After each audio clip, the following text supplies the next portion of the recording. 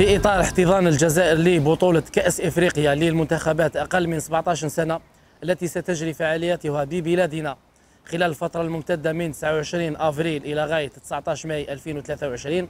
قيادة الدرك الوطني وضعت كل الترتيبات اللازمة واتخذت كل الإجراءات من أجل تأمين هذه التظاهرة وإنجاحها حيث تتواجد وحدات أمن الطرقات عبر كافة شبكات الطرقات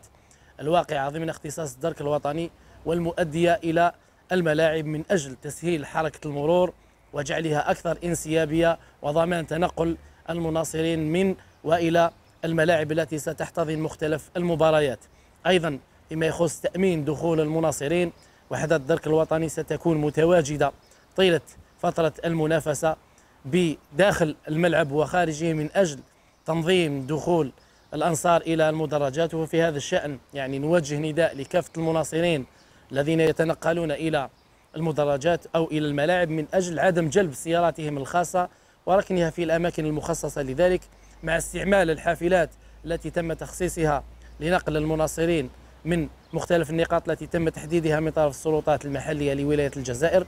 أيضا نوجه نداء للمناصرين بعدم جلب كل ما هو ممنوع وغير مسموح به لإدخاله إلى المدرجات على غرار قارورات المياه الحقائب وكل الأشياء الصلبة التي من الممكن أن تشكل خطرا على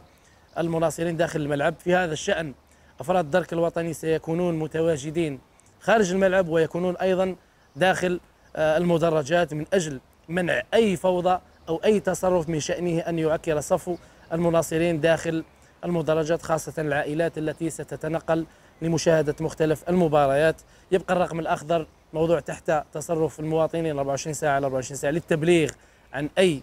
طارئ و أو طلب المساعدة كذلك تبقى صفحة طارقي على الفيسبوك من أجل الاطلاع على حالة شبكة الطرقات قبل التنقل إلى الملاعب التي تحتضن مختلف المباريات.